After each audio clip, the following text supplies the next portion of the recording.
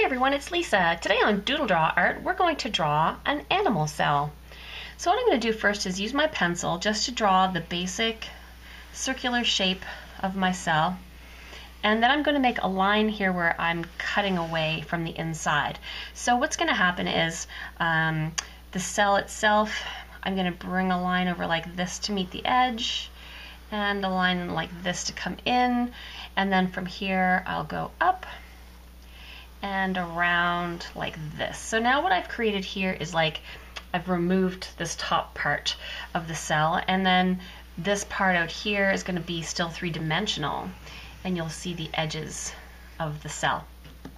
So this part will go away. I'm just going to erase this. We won't be seeing it when we're done. And this line, this imaginary line, did not cut this part of the cell. So now we've got the inside of the cell visible.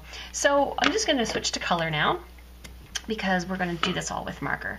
This part of the cell here, this outer edge that encloses the whole thing, this is the cell membrane. And it, of course, uh, as you likely know because you studied about cells in school, which is why you probably have to do this diagram today, you're probably doing it for a school project. The cell membrane is what keeps the cell separate from the world. It's like it's like the enclosure, the little bubble that keeps it all separate. And then the next thing that we're going to draw inside the cell, we're going to draw the nucleus.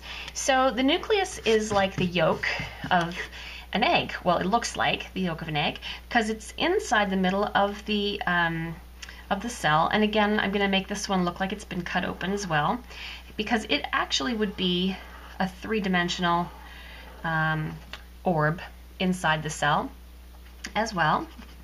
And it's going to have um, parts inside of it that control the cell. So it would have the DNA of the cell and the chromosomes that were formed from that.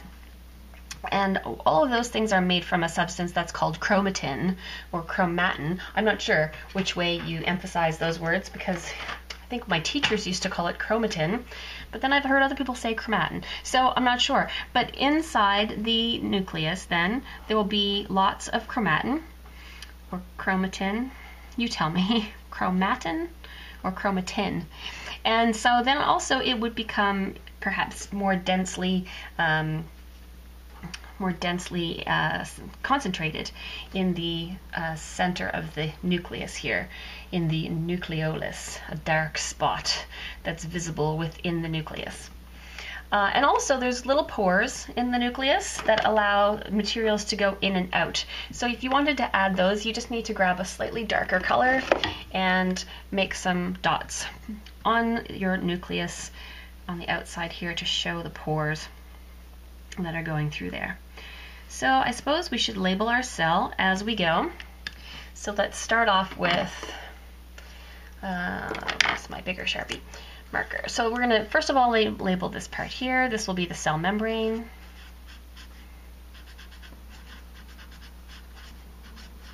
And then we have the nucleus.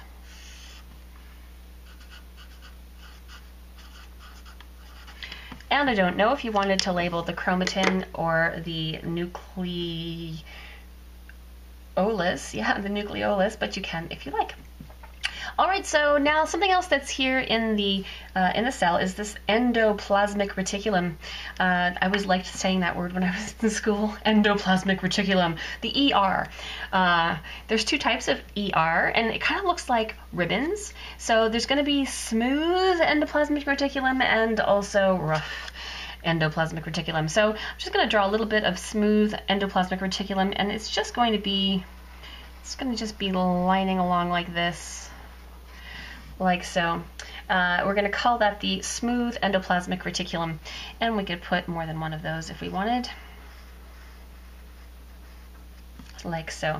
And so the smooth endoplasmic reticulum is a transport mechanism in the cell, and I will just draw a label over here. So when you're labeling something, it's a good idea to try and keep your lines direct, going from your words to the thing that you're labeling and also print clearly. Endoplasmic reticulum. Great. Then there's another kind of endoplasmic reticulum called the rough endoplasmic reticulum. And that one has um, little ribosomes all over the outside. So we're going to draw that one here. Let's just draw this big rough endoplasmic reticulum here. And we're going to make some ribosomes on it. So those are just hanging out on the surface of this rough endoplasmic reticulum. All right. And we'll put a label on this as well. So within the cell, we could have multiple.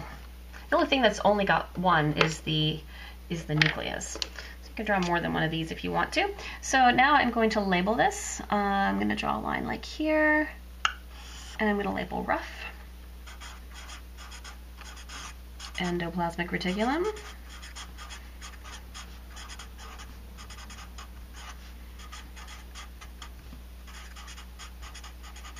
And then ribosomes. Oh, come on a little further. Now, if I just say ribosome, I can point at one, but if I want to say more than one, I'll say ribosomes, and then I can point this out to more than one, and we'll actually be able to tell more easily specifically what it is that we're pointing at. Because uh, if we don't sort of show that there's multiples of these, it might become uh, confusing as to what we're pointing at in that little section. All right, so then we also have something called a lysosome lysosome. The lysosomes in the cell are the things that help to eat the things that are not the cell. It's like it's like the stomach of the cell. It helps to digest the parts that are um, extra things that have come along. So the lysosome is just like a little uh, hard to even describe kind of little capsule shaped thing. So if we looked inside of that, it would also be like an, a little open section there. So we would see like the inside of this. And there's just a few of those floating around inside the cell so that it uh, can help to clean up all of the extra bits in the cell. So we'll go ahead and label that as lysosome. Me spell it right. L-Y-S-O-S-O-M-E. So there we have the lysosome. And we also have something called um, mitochondria in the cell. And the mitochondria is like the energy of the cell. It's like the, the furnace or the powerhouse. Let me just grab another color here. How about purple? So mitochondria um, usually have this look of uh, an, a little membrane like this with some squiggles on the inside. So here we have mitochondria. And I'll make another one over here. So they're always kind of pea-shaped or pod-shaped, and then they have all of these surface area membranes on the inside. And so we'll make a little line here. Let's see, where should we put more words? I guess this is, I didn't leave enough room here, so it's got to go on this side. And I'll put mitochondria. Almost ran out of room. Oh my gosh, that was close. Mitochondria. All right. Golgi bodies. Now, the Golgi bodies, they are membrane type things, and I'm not even sure if we know what they do. Um, you could maybe tell me what the Golgi body does. I don't know. But it always kind of looks like this in diagrams with sort of bulging ends. And there's like a whole, it's a Golgi complex sometimes, Golgi bodies. But yeah, it's just this sort of blobular things on the outside. I seem to remember that they do something about the packaging or uh, you could tell me. It's been a long time since I've had to study ge uh, biology. So Golgi, and let's be let's be um, should we call it Golgi bodies or should we call it Golgi complex? Let's call it Golgi bodies. Why not? So there we go. It's faster to write it. The Golgi bodies, they're there. Nice. And uh, then we have these little compartments in the cell called vacuoles. And vacuoles are used to send things out of the cell um, or contain things within the cell that are essentially not part of the cell. So the vacuoles are just like to evacuate things, let's say, from the cell. So here we have a vacuole.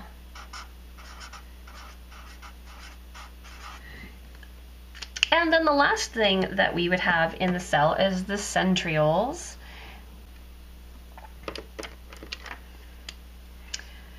So we have these centrioles, and they are like little tubules. And if there's more than one, they'll just lay in angles to each other.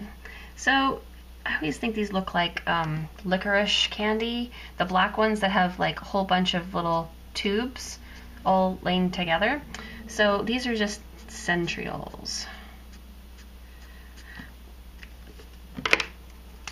I'll draw one over here.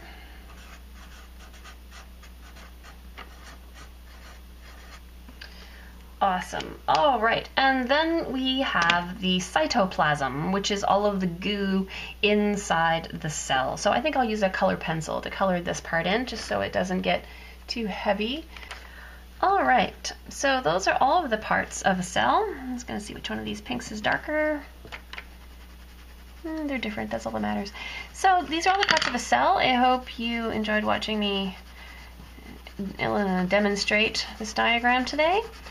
Good luck on your science project or your class assignment for drawing the parts of a cell. I'm being careful not to color inside the vacuoles because the vacuoles um, do not contain cytoplasm they contain other things that need to be sent out of the cell. So I'm just coloring one color pink down on this side and not pressing very darkly and then I'm just using this slightly darker pink. This will give it an even more three-dimensional appearance because when I get to this middle there'll be a bit of a line of like a shadow a shadowy edge coming from one side or the other here. All right, so if you have some other suggestions for things that you would like, maybe you'd like me to do a plant cell, or you've got some other school project work that you would like me to help you draw, you could leave those notes in the comments. And I would love it if you would subscribe to my channel. If you found this video helpful, please click like. And uh, you could check out the sidebar here for more things to draw here on Doodle Draw Art. So thanks for watching.